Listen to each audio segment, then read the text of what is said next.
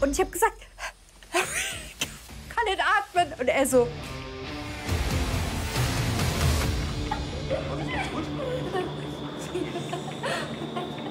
Oh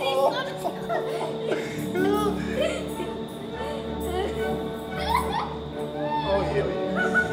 Ach, Mama, warum strampeln Sie denn so? Sie sollen nicht strampeln.